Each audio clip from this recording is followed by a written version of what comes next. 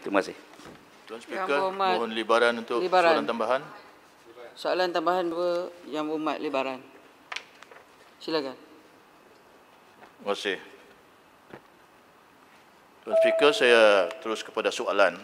Minta kementerian jelaskan sejauh manakah dasar berkaitan seperti dasar alam sekitar tahun 2002, dasar perubahan iklim negara tahun 2009 dan Akta Alam Kualiti Sekeliling 1974 menjaga kelestarian alam. Bagaimana juga kementerian memastikan kecekapan usaha sama diselenggarakan di antara kerajaan pusat dan kerajaan negeri serta agensi-agensi yang terlibat supaya tindakan dan penguatkuasaan berjalan lancar terhadap penjenayah alam sekitar. Mohon juga kementerian nyatakan bagaimana juga kerajaan memperkasahkan penyertaan komuniti seperti NGO atau individu dalam menyokong agenda pemeliharaan alam sekitar ini. Terima kasih Tuan Speaker. Silakan. Yang Berhormat Menteri.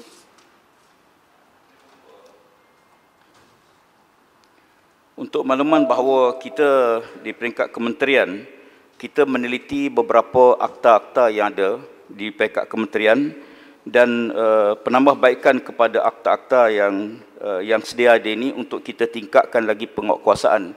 Sebagai contoh ya, kita berdepan dengan pelbagai masalah berhubung dengan kadar kompaun yang kita kita menilai kembali yang bagi kita tidak perlu ditingkatkan sebagai elemen pencegahan. Untuk makluman Dewan Yang Mulia, sesuatu pencemaran alam sekitar melibatkan kos yang sangat tinggi untuk dibaik pulih. Ya, terkadang kita belanja sampai ratus-ratus ribu ya, untuk membaik pulih kepada isu pencemaran alam sekitar. Oleh kerana itu, penelitian kepada semua akta-akta yang ada sedang dirangka di pihak kementerian untuk kita tingkatkan keupayaan. Persoalan kedua berhubung dengan kerjasama. Untuk makluman bahawa kementerian juga telah pun menubuhkan sebuah jawatan kuasa untuk libatkan semua agensi-agensi dan badan-badan bukan kerajaan NGO untuk kita turut sama bekerjasama dalam penjagaan alam sekitar. Dan sehubungan dengan itu, kita juga mengadakan hubungan yang rapat dengan universiti-universiti tempatan, eh, khususnya fakulti-fakulti yang melibatkan alam sekitar untuk kita gerakkan bersama dan sebanyak 10,000 eh, kilometer eh, river trail yang telah kita setuju di peringkat kementerian untuk kita bina supaya punca air kita dapat kita jaga dan sebarang pencemaran kita ambil tindakan yang tegas.